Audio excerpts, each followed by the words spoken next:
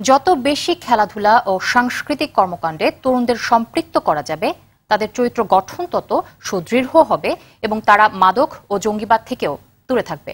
সকালে গণভবনে পঁয়ত্রিশটি জেলার ছেষট্টি উপজেলায় মিনি স্টেডিয়াম, ছয়টি জেলার যুব প্রশিক্ষণ কেন্দ্র এবং বাংলাদেশ ক্রীড়া শিক্ষা প্রতিষ্ঠানে মাল্টি স্পোর্টস ইনডোর স্টেডিয়াম উদ্বোধনকালে এসব কথা বলেন প্রধানমন্ত্রী শেখ হাসিনা। দেশের প্রতিটি বিভাগীয় শহরে বিকেএসপির শাখা খোলার কথাও জানান তিনি।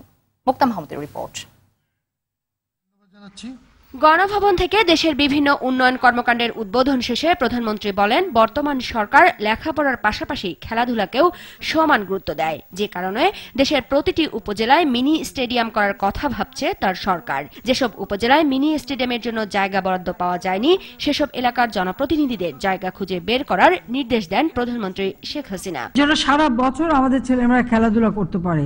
সেদিকে লক্ষ্য রেখে এই মিনি স্টেডিয়াম, আমরা এখানে প্রায় ছেষট্টিটি জেলায় এই মিনি স্টেডিয়াম নির্মাণ করা হয়েছে। আমি আরও খুশি হতাম যদি আমরা দেখতাম যে প্রতিটি উপজেলায় স্টেডিয়াম হয়ে গেছে। তবে আমাদের একটু সমস্যা হলো, যেমন জায়গার একটু অভাব হয় তো যেসব জায়গায় এখন এটা হয়নি আমি সেই এলাকার সকলকেই বলব প্রশাসন থেকে শুরু করে আমাদের রাজনৈতিক নেতৃবৃন্দ বা জনপ্রতিনিধি তাদেরকে বলব যে আপনারা দয়া করে একটা জায়গা অন্তত নির্দিষ্ট করে দেন।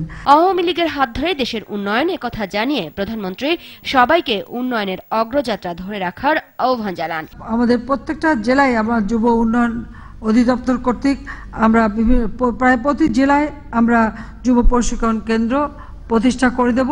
এর আগে প্রধানমন্ত্রী মোবাইল নাম্বার পোর্টাবিলিটি সেবার উদ্বোধন করেন। গেল দশ বছরে বাংলাদেশের উন্নয়ন বিশ্বের চোখে পড়ার মতো উল্লেখ করে সরকার প্রধান বলেন প্রযুক্তির উন্নয়ন আগামী প্রজন্মকে কর্মসংস্থানের নিশ্চয়তা দেবে। আমাদের পরিবার সবাই খেলতো।